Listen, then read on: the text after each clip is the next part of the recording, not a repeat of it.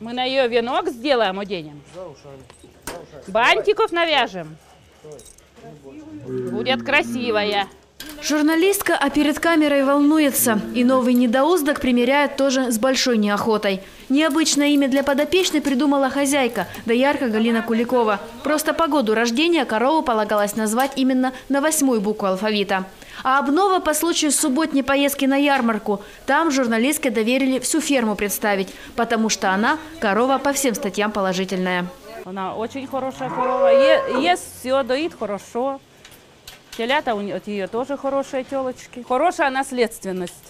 У мамы была хорошая, и у нее. Живность и большую, и маленькую на ярмарку в областную столицу привезут впервые. На предстоящих выходных центр Вологды превратится в торгово-выставочный комплекс. Основные действия развернутся на трех площадках – площади революции, Кремлевской площади и выставки деревянного домостроения у моста 800-летия. И впервые в этом году ярмарка станет итоговой для районных. Обычно проводим, что приезжают э, у нас торговые предприятия, мы их расставляем, ну и начинают торговать. А здесь каждый район привезет фермеров, э, сельскохозяйственные предприятия, э, продукцию, как бы фермеров, продукцию сельскохозяйственных предприятий, перерабатывающей промышленности. Да, и вот под единым таким каким-то брендом района они будут себя представлять и позиционировать. Не один человек, по два, по четыре человека стоят. Вставать. Картофельные завалы здесь разбирают целой бригадой. В одном из пригородных хозяйств Вологды к ярмарке готовятся уже несколько дней.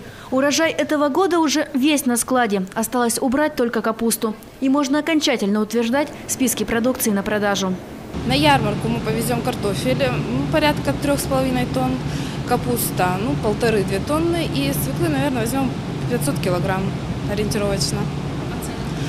По ценам, ну, приблизительно 20 рублей, наверное, будет капуста, в районе 17 рублей картофель и свекла 15 рублей. Кстати, у предстоящей ярмарки направление не только гастрономическое. Для развлечения зрителей разработана большая концертная и интерактивная программа. Радовать вологодского зрителя будут более 50 творческих коллективов со всей области. и гармонисты, это и народные э, фольклорные коллективы, это и танцевальные коллективы. Ну и, конечно, надо отметить то, что мастера представят свои народные промыслы, которые сделаны э, руками мастеров с глубинки наших районов. Кстати, настоящий вологодский продукт станет площадкой не только для продаж и развлечений, но еще и для переговоров. В ходе ярмарки в правительстве Вологодской области планируется подписание ряда соглашений между сельскими производителями и крупными розничными сетями Вологды и Архангельска.